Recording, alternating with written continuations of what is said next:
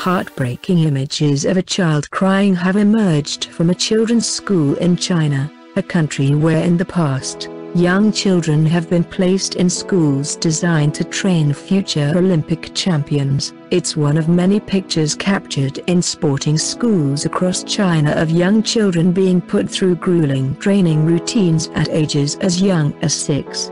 However, things are changing in the country as demographics shift as the country grows more prosperous and a larger focus is placed on different forms of education.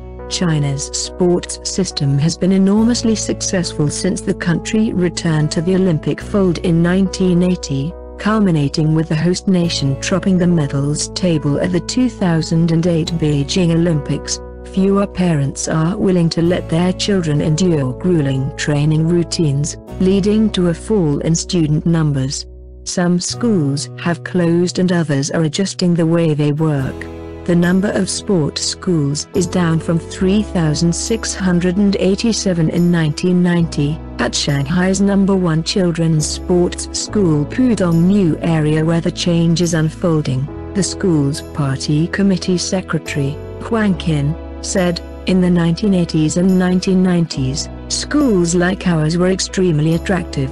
But, parents are less willing now to send their child to sports schools. Debates about the continued relevance of the sports school system began to emerge around the 2008 Beijing Olympics, Huang and other schools said as emerging tales of difficulties facing retired athletes jarred against rising expectations of education standards among China's booming middle class. At the number one children's sports school Pudong New area, Huang said it had improved its teacher training.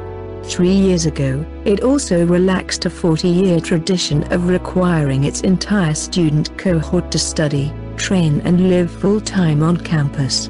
Now, more than half of the school's 700 athletes study at other schools. Of its remaining 300 or so full-time students, about 10% live off campus.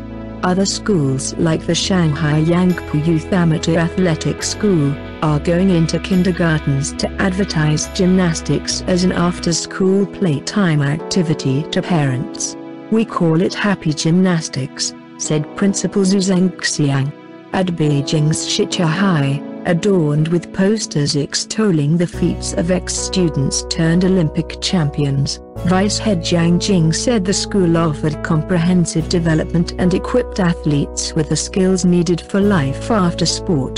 The Shanghai Sports School, whose alumni include former Olympic swimming champion Liu Zige, began in 2012 to reject athletes that did not pass its academic entrance exams, and tells parents it wants to use sports training to educate rather than as an end goal, according to Principal Sheng Man. A lot of sports schools are moving in this direction. But this is a painful process, he said. At present the existing thought is that education and training are two different routes. If you want to be a world champion you cannot study. This belief is wrong. And at the end of the day very few become champions.